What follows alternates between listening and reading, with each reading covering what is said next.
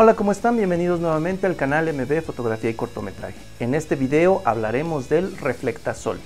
Este es un artículo que muchos quieren, muchos tienen, pero en realidad no están utilizando. En este video vamos a hablar de cómo se utiliza correctamente y si es que tú tienes uno o estás pensando en conseguirlo, cómo puedes sacarle beneficio. Pero antes de comenzar, te recuerdo que si aún no te suscribes a nuestro canal, lo puedes hacer en el momento en el que así lo desees. Solo tienes que darle clic al link que aparece aquí en la parte inferior de la pantalla. Te recuerdo que nuestro canal se sostiene por la publicidad que YouTube añade a los videos, así que si ves un comercial por ahí, pues dedícale un ratito a verlo, no te cuesta nada y nos ayudarás bastante a seguir generando contenido. Dicho todo esto, pasemos a nuestro video.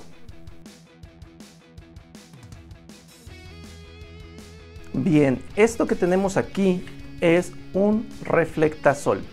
También lo conocen como rebotador o reflector. En realidad el nombre, en realidad no, no es muy importante el nombre que le demos, sino el uso que debemos de darle si es que tenemos uno.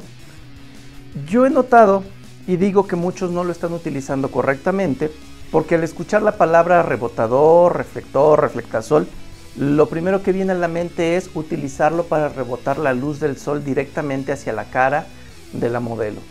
Esto es un error que pues se comete comúnmente porque tenemos en nuestra, en nuestra cabeza, en, nuestro inconsciente colectivo, el, el, ver sesiones donde hay un cuate ahí ayudándole al fotógrafo con esta cosa y le está haciendo así y está enfrente. Esto es falso, en realidad esta no es una manera correcta de utilizar este artículo. Un esquema muy básico de iluminación, hay que empezar por ahí, tiene tres luces, la luz principal, la luz de relleno y la luz de fondo. El reflectasol no se inventó para convertirse en una luz principal. En realidad el reflectasol lo que ayudaba a cubrir era la necesidad de una luz de relleno o una luz de fondo. Cuando nosotros hacemos esto y empezamos a lanzar destellos a la cara del velo de la modelo, pues lo que conseguimos es que ellos hagan estas caras así como que raras, porque en realidad es molesto y es incómodo que le estén a uno echando así de pronto el, charolazo de luz en la cara.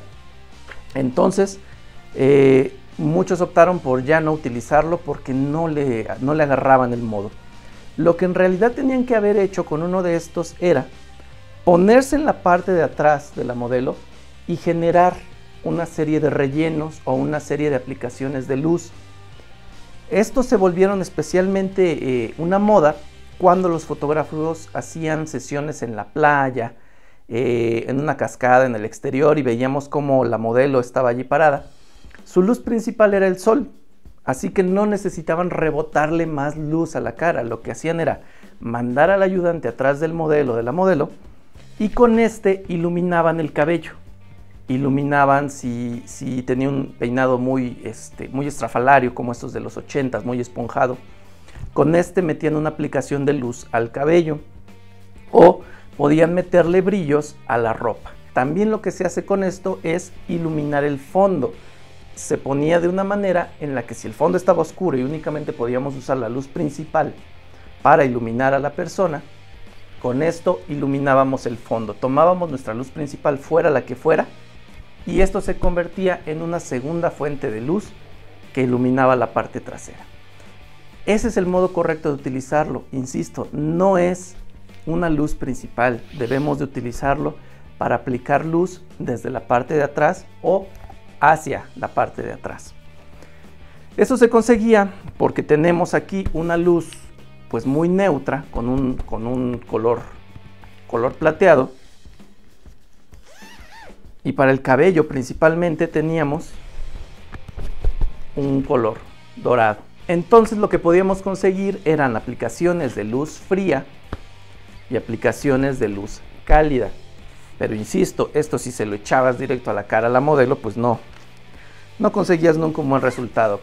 Conseguías una iluminación dispareja, demasiado dura, en realidad esa nunca fue la función de estos artículos. Entonces ya platicamos para qué se utilizan estos dos elementos metálicos, el plateado y el dorado. Pero los reflectasoles también cuentan con un recubrimiento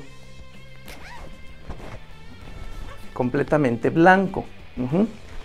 Este también específicamente no se diseñó como una fuente de luz principal, obviamente no refleja tanta luz como los metálicos, sino este estaba pensado para usarse de relleno. Se podía poner en una posición que rebotara luz y así podíamos rellenar con luz muy suave. En este caso está, está rebotando la luz, mi luz principal, que es la de esta ventana, y está rellenando esta sección del encuadre.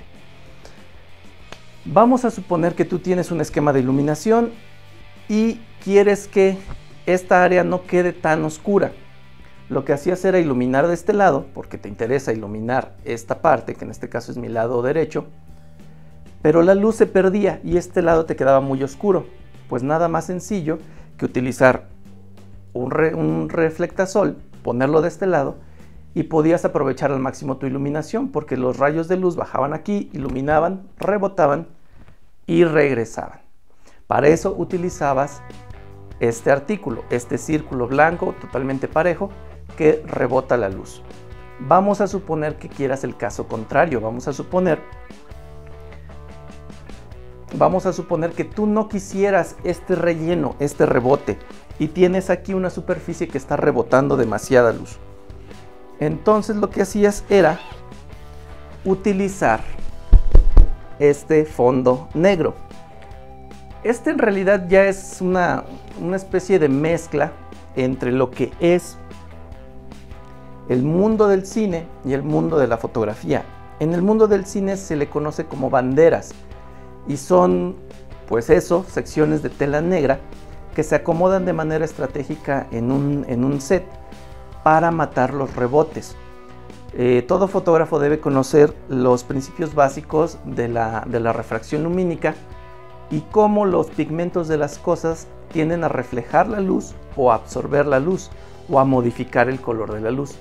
En el caso, los pigmentos negros siempre van a absorber luz, por lo tanto, eh, eh, en este caso no te puedo mostrar eh, con un ejemplo real, pero supongamos que yo quería hacer un Rembrandt y únicamente quiero iluminación de este lado de la cara. Pero de este lado cualquier superficie que haya va a rebotar luz y va a rellenar. ¿Cómo puedo matar la luz que viene aquí para que ya no rebote? Poniendo de este lado una superficie negra. Y esa era la necesidad que esta pantalla negra quiere resolver. Ponerla en lugares donde no necesitemos luz para oscurecer esa sección de la fotografía, esa sección del encuadre. Ahora, hay un último, eh, hay, un, hay un último elemento de este artículo que en lo personal yo he usado bastante y me gusta muchísimo, que es este, que es una pantalla translúcida. ¿Para qué sirve la pantalla translúcida? Te puede servir, ok, como un pequeño rebote, pero en realidad estaba diseñada para modificar fuentes de luz y convertirlas en una fuente de luz de este tamaño. ¿A qué me refiero? Imaginemos que yo estuviera bajo el sol y quiero tomar una fotografía y son las 12 del día. Todo mundo odia las 12 del día para tomar fotografías porque sabe que aquí abajo de los ojos se va a ver negro, se va a ver negro aquí abajo del cuello pues en esos casos utilizabas una pantalla translúcida, la ponías sobre el modelo y lo que hacías era suavizar la luz del sol o cualquier tipo de fuente de iluminación. La luz pasa a través de esta pantalla y se convierte en un círculo de este tamañote, por lo tanto se convierte en luz suave. Ya platicamos aquí en el canal cómo modificar la luz de un flash, cómo modificar la luz de una lámpara, cómo modificar la luz del sol para convertirla en luz suave y que siga siendo luz muy potente. Entonces échate un clavadito por ahí a los videos de aquí del canal para que veas cómo se consigue la luz suave que no tiene nada que ver con la luz potente. Una cosa es luz suave, otra cosa es luz potente. Y eso es lo que lográbamos con esta sección del reflectasol, la pantalla translúcida. Esta es la que yo más he utilizado, es la que a mí me gusta mucho y ese es el modo correcto de utilizarla, mm, usarla para modificar la luz y suavizarla. Pues bien, ahora ya queda más claro, ¿verdad? ¿Para qué se utilizan estos artículos? ¿Por qué sí es necesario tener uno en nuestro equipo fotográfico por qué si estás pensando en comprar uno, sí te conviene conseguirlo. Y si lo tienes por ahí aventado, ahora ya sabes qué provecho le puedes sacar. Eso es todo de mi parte, espero que este video te guste, te sirva, lo puedas poner en práctica muy pronto. Si este video te gustó, dale like, compártelo en tus redes sociales de fotografía, compártelo con tus amigos. Suscríbete a nuestro canal, déjame muchos comentarios, todas las dudas que quieras te las voy a resolver. Nos escuchamos la próxima.